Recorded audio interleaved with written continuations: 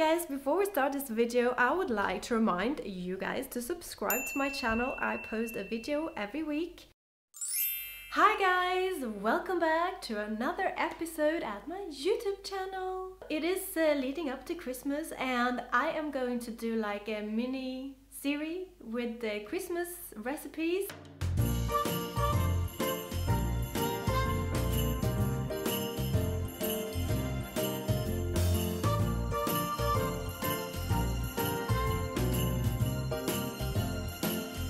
So traditionally you serve this Swedish herring in mustard sauce as a side dish. Yeah, we're going to make the vegan version today, of course. The base that we're going to use instead of the fish is some courgettes.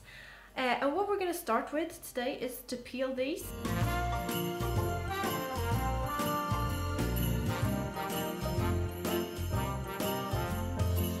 So once you're done with peeling your courgettes, don't throw away the peel because that is great for making sandwiches uh, or to have in your stir fry or in your salad. Let's not waste any food guys. Keep this in your fridge and use it. So what we're going to do now is basically cut the courgettes into smaller pieces like little square ones.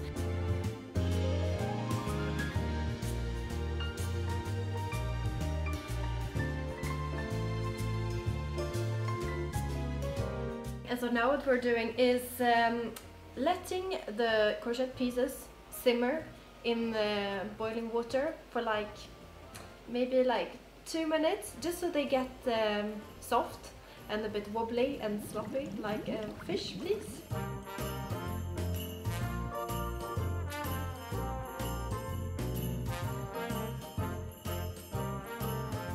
Uh, I cooked the courgettes for I think three maybe four minutes you don't want them to get too sloppy because then they will kind of dissolve in the sauce. Um, but you don't want them to be too like chewy either.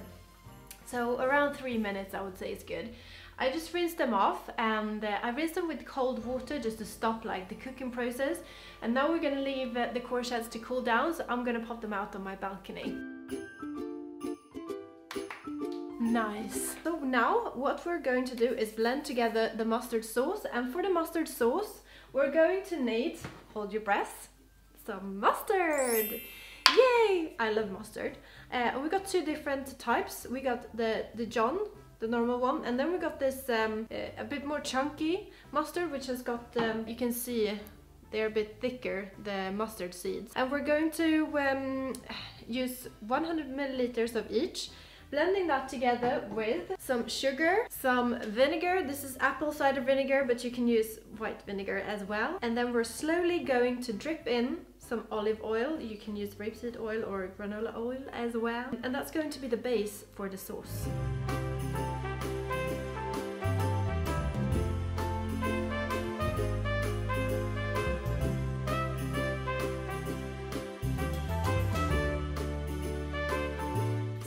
When the sauce is uh, all like creamy and gorgeous and is, smelling fantastic, we are going to chop down some fresh dill. You can use frozen or you can use dried dill as well, but trust me, it will be a lot better if you use fresh dill. And then we are going to chop down some uh, spring onions. You can also use leek if uh, this is what you prefer or what you can find in your supermarket. Uh, and I would say, you know, the more dill and the more leek or spring onions you use, the better your Swedish herring is going to taste. You know, it's to taste basically.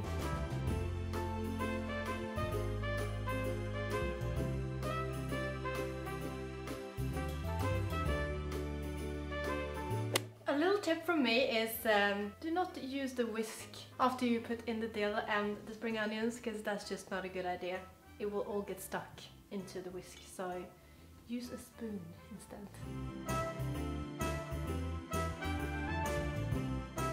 And so now the only thing that's left to do is to simply add our cooked courgettes into the mustard sauce. And then we got our Swedish Christmas herring.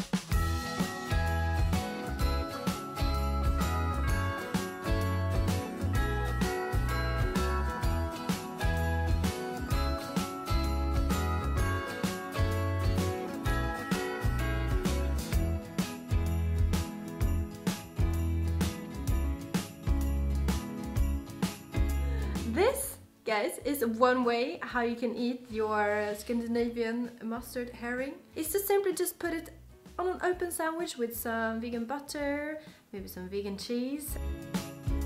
Oh my god, it's just so good. I love it so much. All the flavors are like explosion. The mustard, which is very spicy, and all this like the sweet taste as well from all the sugar that we put in there.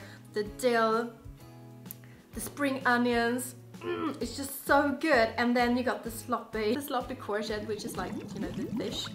Um, tastes great on a sandwich like this.